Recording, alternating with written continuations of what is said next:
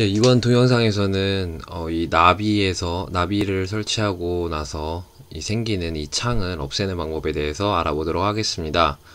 자, 이게 예전에 제가 작성했던 글인데요. 이 작성했던 글에서도 음, 예, 우분투 12.04에서도 기본 입력기인 아이부스의 한글 입력 문제가 있어서 어, 나비를 설치했었는데요. 그때도 나비를 설치하고 나면 이렇게 네, 지금 똑같죠. 거의 모습이 예, 이런 창이 남게 돼서 어, 많이 신경이 쓰이게 되는데요.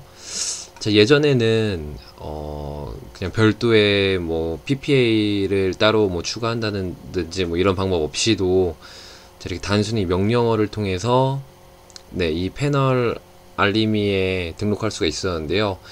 자, 이 우분투 13.10에서는 네, 따로 어, 입력을 해줘야 됩니다. 자, 이 여기 적혀 있는 주소들은 어, 제가 어, 네, 블로그에 따로 적어 놓을 텐데요. 네. 자, 이렇게 PPA를 네, PPA 저장소를 따로 네, 추가를 해주고요.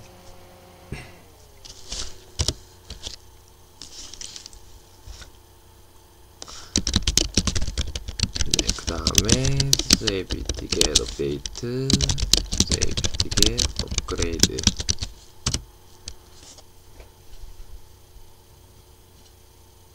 네, 지금 뭐 수도 apt get update, 수도 apt get upgrade를 따로따로 입력하셔도 되는데 어, 방금 전에 저처럼 네, 아유 이름을 까먹었네요. 아무튼 이거 두 개를 네, 입력하시면 연달아서 명령어를 인식하게 됩니다. 자 여기서 이제 Y를 눌러주면은 네 설치가 진행됩니다. 자 이게 음, 우분투에서 항상 이 한글 입력에 대한 게 문제가 되는데요. 어, 좀 아무래도 이 아이부스 쪽에서 음, 좀 더 지원이 잘 되면은 좋긴 좋을 텐데 어, 그런 게 또 마땅치 않은 것 같습니다.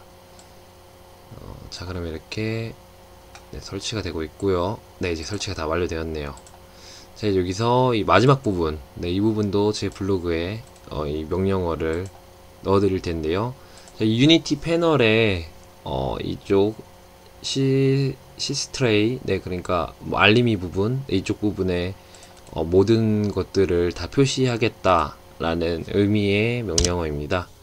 자, 이제 로그아웃 하고서 로그인 하시면은 네, 확인할 수가 있습니다.